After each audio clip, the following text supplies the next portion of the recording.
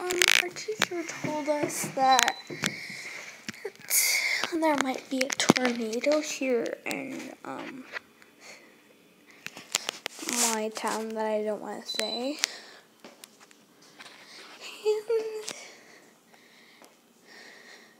um, well, it, it's a town in a desert, so it's not supposed to really, you know, rain. But like I'm in the, I'm home, pretty much alone except for my great grandma. And currently outside it is, well, I can hear thunder. See, it's storming. If you can't see, like it's like there's a bit of sun, but like it's storming and raining. And I don't know if you can see it on camera. It's kind of hard.